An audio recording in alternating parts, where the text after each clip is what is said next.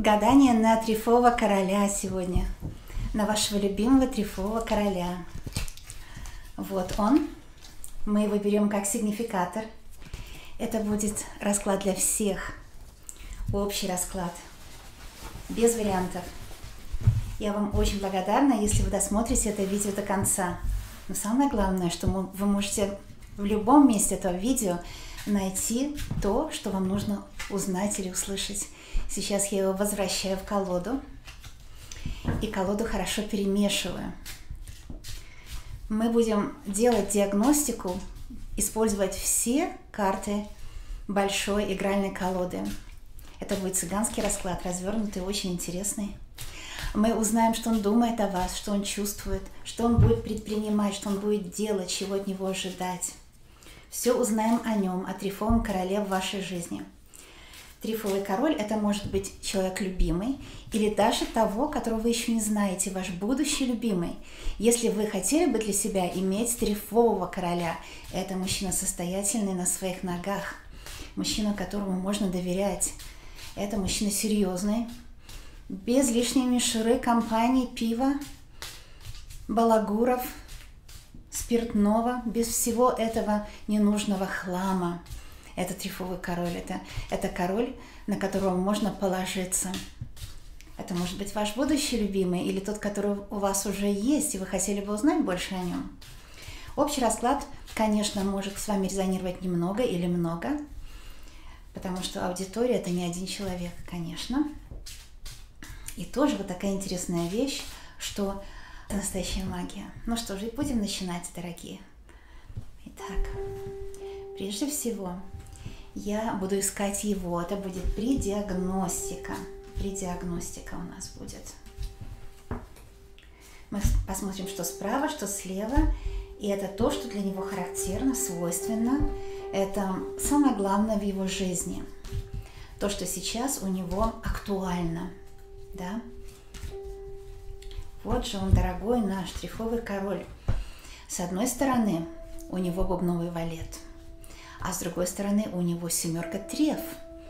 Он сейчас торопится на встречу с каким-то бубновым вальтом. А бубновый валет сейчас это сигнификатор денег. Таких денег легких, знаете, неожиданных, которые как вестник пришли. И их нужно инвестировать, использовать. Но не зря же он трифовый король у нас. Он занимается делами. Он спешит на какую-то деловую встречу. Сейчас для него это более всего актуально – если вы в момент в этот, не зная этого, то есть вы не посмотрели прогноз, не зная этих тонкостей о нем, подойдете к нему и спросите, любишь ли ты меня, он может нагрубить, а, потому что у него э, голова и концентрация совсем на другом. Ну что ж, давайте теперь развернуто посмотрим, как он к вам относится, этот трифовый король, да, как он к вам относится. Я уже вижу, что с самого начала ваши отношения были как, как, как в кино, как в песне. Потому что червовый туз в основании всего – это, конечно, великолепное начало, любовное, страстное начало. Это то, что было в начале. А теперь мы посмотрим весь расклад, конечно. Так что доверьтесь раскладу, он все покажет. Все-все покажет. И расскажет вам о трифовом короле, его намерение к вам. Я люблю четкие гадания. Вы, наверное, знаете, да? Поэтому я буду говорить по делу. У меня можно научиться этому именно тайному раскладу на уроках. Я не буду сейчас рассказывать, как я его делаю, это тайная техника. Видно ли вам? Вот вопрос. Вопрос в том, видно ли вам. Мне нужно, чтобы вам было видно. Наверное, сейчас видно лучше, да? Я так сквешт здесь, но зато вам видно, наверное. Вот так.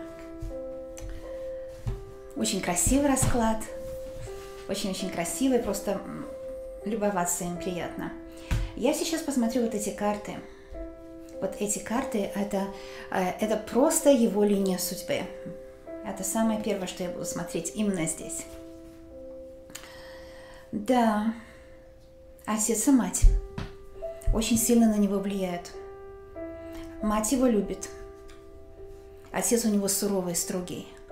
И даже, может, его бил в детстве. А у него большая печаль по отношению к родителям. Или родители не очень здоровые, или у родителей какая-то проблема, он должен проблему родителей нести на себе, как груз на плечах. У него в мыслях родители, с ними у него большая-большая печаль. И вот, видите, как, как, да? Вот. Смотрите, если я посмотрю на карты, которые вас представляют, и его, я увижу, что это очень мелкие карты, незначительные, да? И это говорит о том, что вы как-то потеряли друг друга. Вы теперь не так, не так близки, как были раньше. Что случилось? Понимаете? Что случилось? Вы, может, поссорились из-за денег. Может быть, какая-то, какая-то покупка была сделана неправильно вами или им. Вы поссорились, может быть, из-за денег. Вас поссорила беседа. Какая-то беседа, которая начиналась как ничего. Вот простая беседа – а потом эта беседа вас э, просто поссорила, потому что вы заметили, что вы думаете совсем по-другому и относитесь к жизни по-другому. Вы на него очень, э, что злая, обиделись. Вы на него обиделись, он вас обидел. Он вас обидел. Я могу сказать, что он вас любит.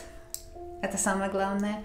Но у него тоже на сердце печаль стран, странно, что и вы обиделись он, но вы обиделись больше, чем он. Он все-таки больше вам прощает, чем вы ему. Нужно ему отдать должное. Он прощает вам а, больше, чем вы ему. Да, он тоже обиделся, но он не затаил обиду, а вы обиду затаили. Такая здесь ситуация. С самого начала вы для друг друга были как находка – как настоящая находка и любовь.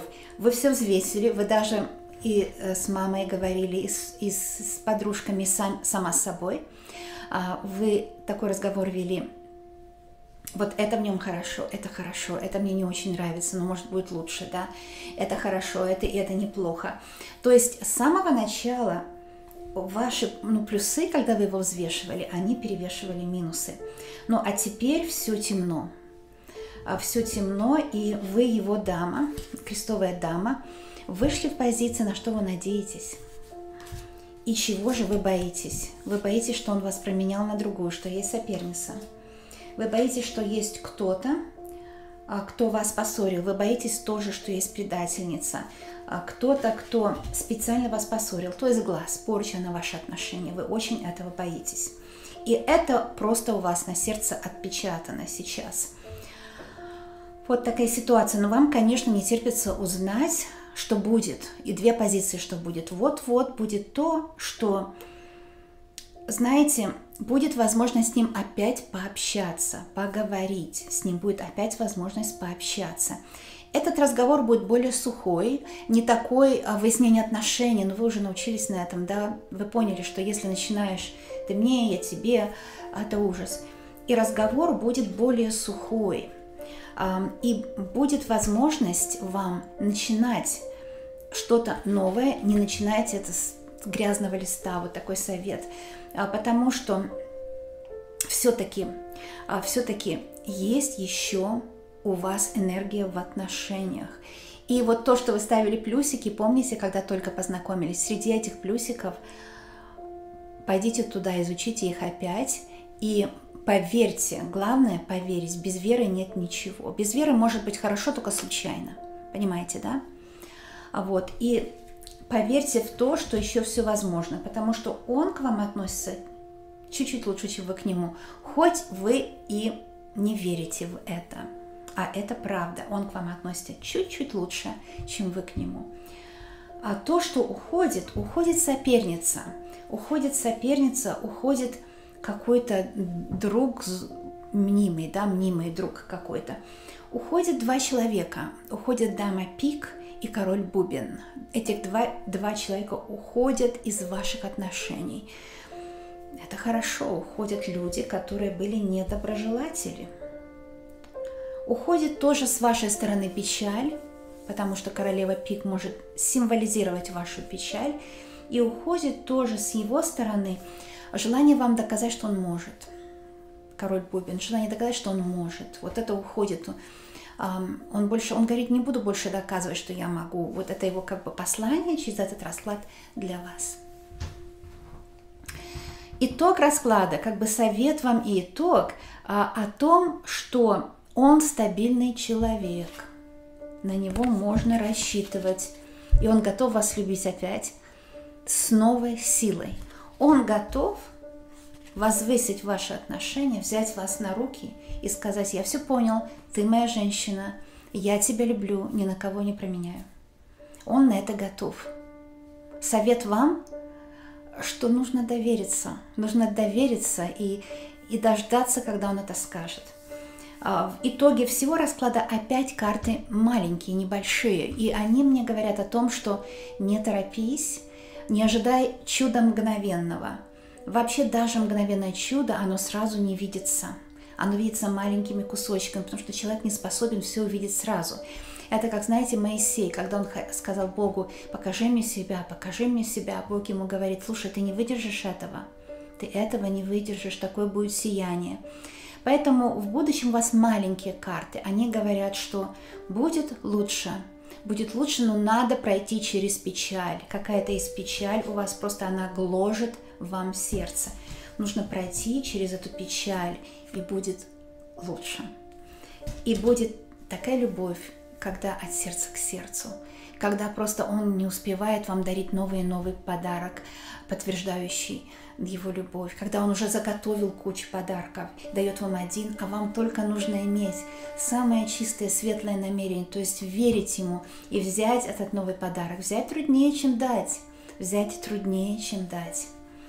А взять этот новый подарок и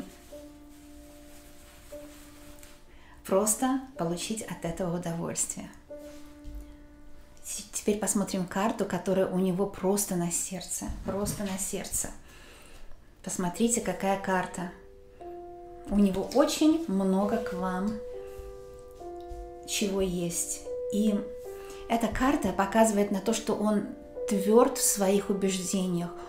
Его не сдвинешь с места. Да, он упрям, но это упрямство – это не отрицательная черта. Во многом это упрямство – это очень положительная черта, которая в нем приведет к тому, что вы наконец доверитесь. Вы наконец доверитесь, что этот человек слово, дело твердо стоит на своих убеждениях, и что этому человеку можно полностью доверять. Теперь я эти карты забираю. Они сказали, что улучшение, конечно, будет, но нужно вам справиться со своей печалью в сердце потому что в сердце у вас есть очень глубокая печаль. И я сделаю еще один расклад. Как я уже сказала, я использую все карты, да? Это мой тайный расклад. И он показывает то, что характерно для него сейчас – именно что он чувствует к вам сейчас. Мы уже сказали, что он чувствует меньше обиды, чем вы. Он чувствует меньше злости, наверное, даже, чем вы.